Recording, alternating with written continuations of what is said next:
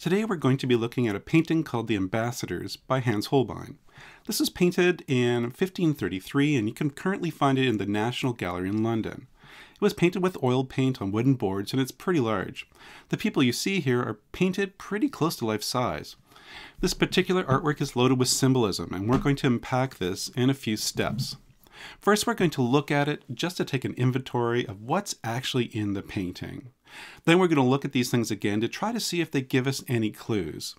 After that, we're going to put those clues together to see if we can find out why this painting was made and what the meaning of it is. Because in the long run, what makes an artwork good is how well it achieves its purpose of communicating. Let's look first at the two people. The first person who we notice is the man on the left, and boy is he an impressive looking figure. He's wearing this immense fur coat. His two sleeves appear to be made out of silk, and he seems to be wearing some kind of medallion around his neck. To the right is a second man, dressed all in black. He seems to be a quieter person, though. He is clutching a pair of gloves in his hand. He's wearing a black hat, and around his neck is this white collar that's laced together. In this section, we see a number of things related to music. The largest object is a stringed instrument that's an ancestor to a lute or a guitar. Below that, you see a book, and on its pages are written musical notes. Just to the right of the book are a collection of tubes, and you see on one of them there's a hole drilled into it. This is a bunch of flutes. Just above the music book is a set of dividers or a compass. And you've used these in schools to draw circles and measure things. These would have been used for the same reason. If you look just below and to the left of the compass, you'll see another book. And if you look inside, you'll see it's filled with mathematics. The wooden object holding the page open is a special ruler that folds open at exactly 90 degrees. This is used a lot like the triangles in our geometry sets. As you look above the book, there's a globe with a handle on it. And when you look closely at this globe, you'll see the continent of Africa and Europe and the Middle East. Let's look closely at what he's holding in his hand. It seems to be maybe a telescope, but maybe it's a knife or a dagger. It's obviously well made and expensive. And if you look closely, there's writing on the handle. And that writing says in Latin, he is 29 years old. Now let's move over and look more closely at the book that's underneath this man's elbow. Here's another hidden clue. There's something written here as well that says in Latin, he is 25 years old. Between the two of them is a beautifully made rug. If I were to guess, I would say that this was made in the Middle East. I can only imagine how long it took to paint all those little dots. On the top shelf, we have an assortment of very interesting scientific instruments. The one that's probably most recognizable to us is the globe on the far left, but this is no regular globe. Instead of it being a globe of the Earth, this is a globe of the night sky, and that's because a lot of these instruments have a connection to astronomy. In the center is a sextant, which is used for measuring angles. And to the left of that is an object that I believe shows the way the sun rises and sets each day at different times throughout the year. Below the sextant and slightly to the right is a special sundial. Each face of it works for a different latitude so that a person traveling the world would be able to know the correct time of day no matter where they were. All of these scientific instruments have some connection to travel or time.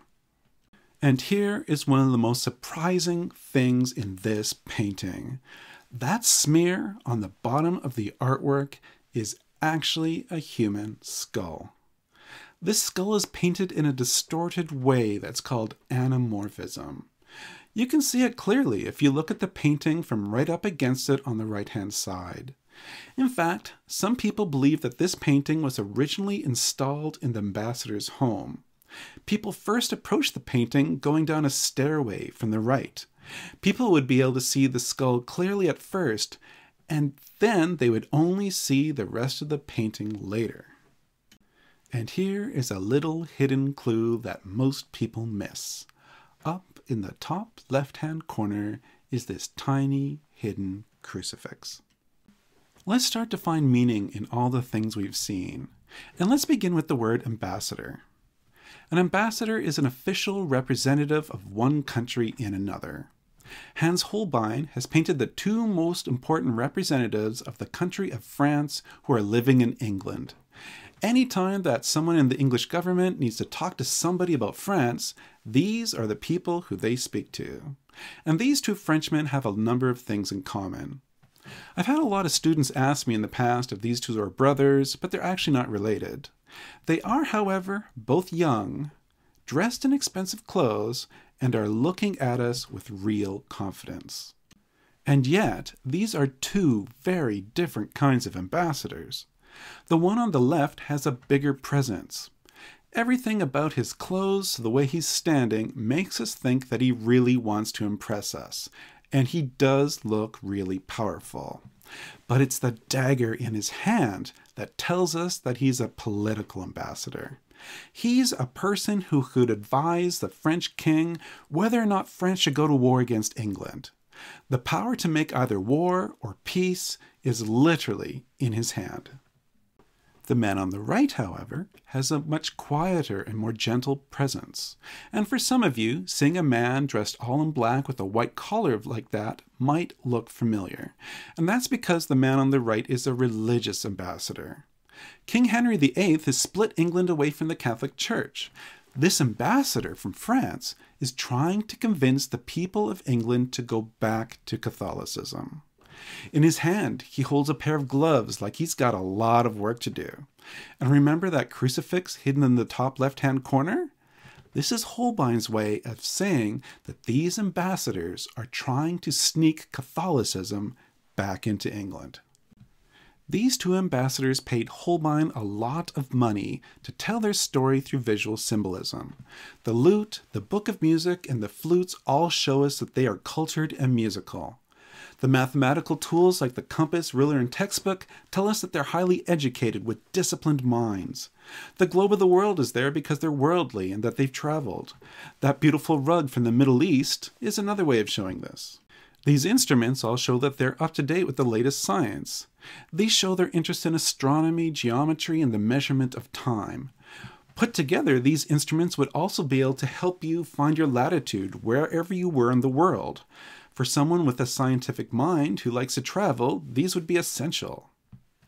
And yet, they've gone out of their way to highlight just how young they are. This ambassador really wants us to know that he's only 29 years old. And this ambassador really wants us to know that he's only 25. Which brings us back to the skull. This skull would have been the first thing that people would have seen as they entered the ambassador's residence. And I have to ask, why on earth would they want us to see that first? They have paid a lot of money to have Holbein paint them in a picture that shows them as young, educated, powerful, and wealthy. But why did these ambassadors pay Holbein to make a skull be the first thing that we see. The reason why the skull is there is because this painting is a memento mori, a reminder of death. Nowadays, people in the world live long lifetimes, but for most of human history, people didn't live that long. Sometimes illness or accident or war could strike people randomly, death was an everyday thing, and people growing up in the past would have known someone young and bright who died before their time. Memento Mori is a reminder that no matter how hard you try, your work, relationships, and dreams may be left unfinished. This idea goes deep into European culture and even into the days of the Roman Empire. Here's an example. When a Roman general won an especially important victory, they had what was called a Roman triumph. This was a special parade of all the soldiers, the people who they defeated, and the things that they took. At the front of this triumph would be the general and their chariot. And it must have felt to those generals like they were the most important person on the planet. Standing with them in that chariot was a slave who had two jobs. The first was to hold a laurel of olive leaves above the head of the general. But the slave's second job was to whisper into the general's ear Remember that you too are mortal. remember that you too will die. When you put all the clues together, what you see is this. You see two people who are young, wealthy, educated, worldly, and enormously powerful. They're proud of this and they want people to know it. You can tell they're wealthy by the expensive clothes they wear. You can tell they're educated by all the different books and instruments. You can tell they've traveled because of the rug and the globe.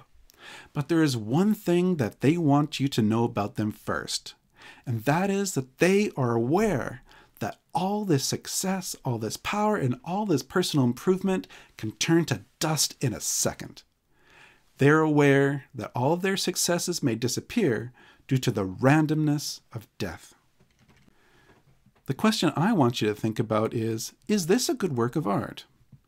Now, I need to be clear that your personal taste is really not important here. What is much more important is whether or not the artwork does its job. And an artwork is good if it communicates clearly. So, what you should consider is this Does this artwork clearly communicate its meaning about these two ambassadors? Remember, this is not really about technical skills, but how well the artist conveys their message. Think about whether you think this is a good artwork, or you think it's bad, or maybe you think it's a bit of both, but be prepared to back up your thinking.